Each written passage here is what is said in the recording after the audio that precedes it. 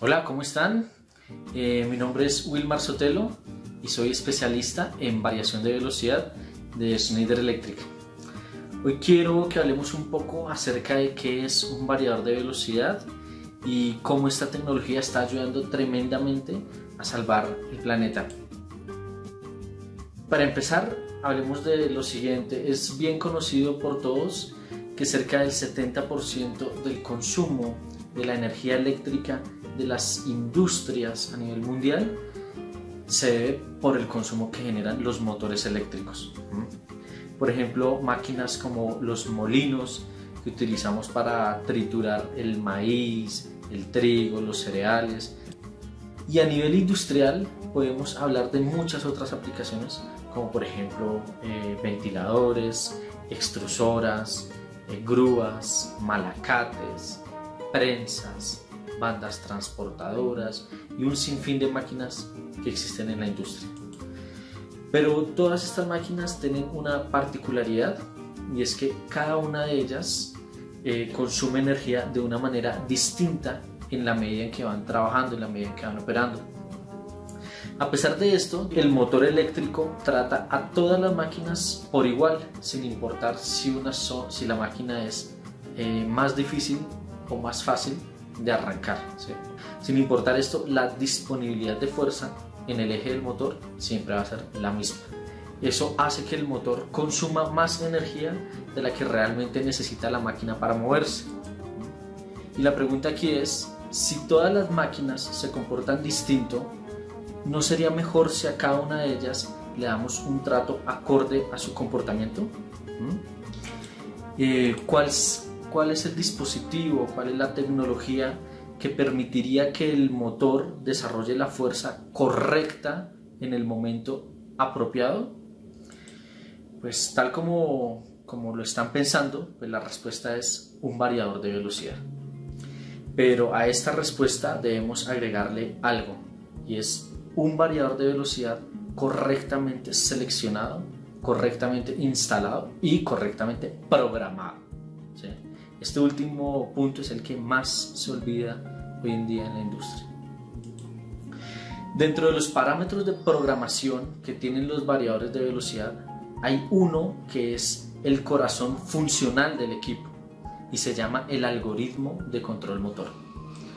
El algoritmo de control motor es quien define la estrategia matemática que utilizará el variador justamente para controlar la cantidad de fuerza disponible en el eje del motor, de manera que permite darle un trato personalizado a cada máquina, eliminando así los desperdicios o el exceso de torque que antes generaba el motor cuando trabajaba por sí solo.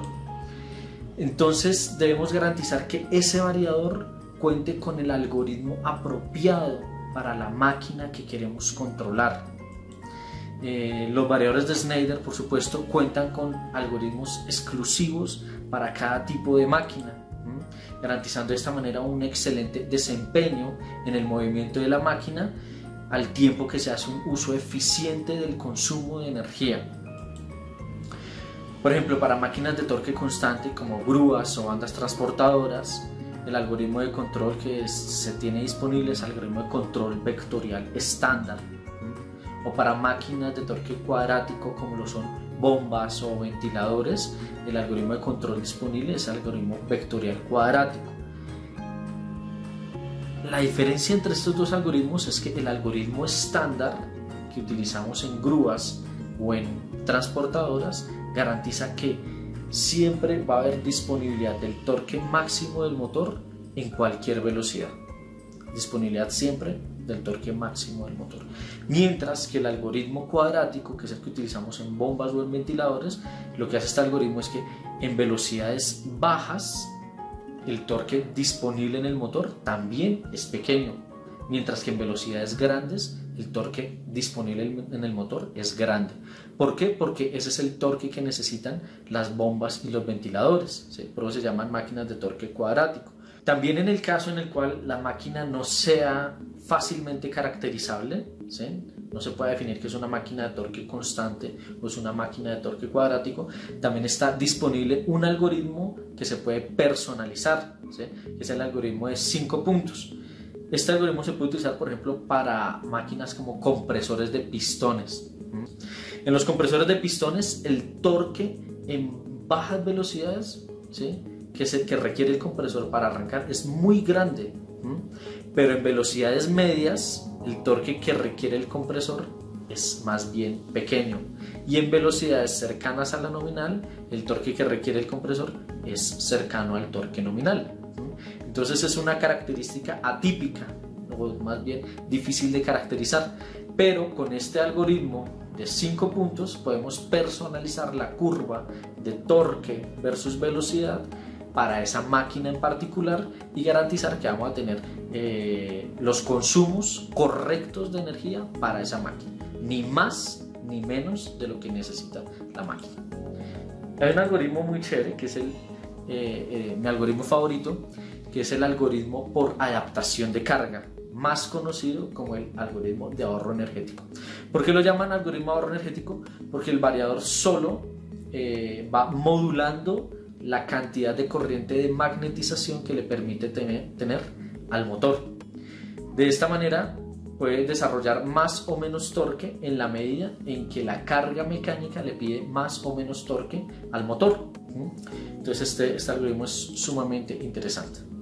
Es muy utilizado, por ejemplo, cuando tenemos máquinas de alta inercia o cuando tenemos máquinas con motores sobredimensionados. En estos dos casos es donde con mayor frecuencia se puede utilizar este algoritmo de ahorro energético. También se puede utilizar cuando no es posible variar la velocidad. Cuando la máquina siempre va a trabajar en velocidad nominal, también podemos aprovechar y utilizar este algoritmo de control. Es, es, es muy interesante porque eh, muchas veces se piensa que si mi máquina no puede variar la velocidad, no tiene sentido instalar un variador de velocidad. Pues fíjense que no. Fíjense que si la máquina es de alta inercia o si la máquina tiene un motor demasiado grande, es una oportunidad para ahorrar energía utilizando un variador de velocidad, pero programándolo con un algoritmo de control de ahorro energético.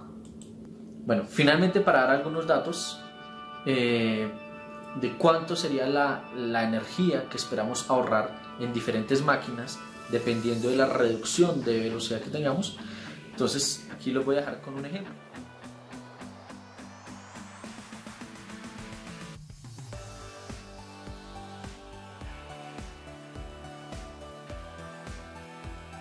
¿Qué tal si utilizáramos esta tecnología de manera correcta en todos los motores del mundo?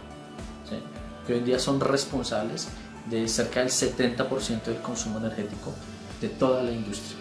Entonces, estamos hablando de que literalmente contribuimos de manera certera en la reducción del consumo energético para recuperar la sostenibilidad de la humanidad en este que es nuestro planeta Tierra.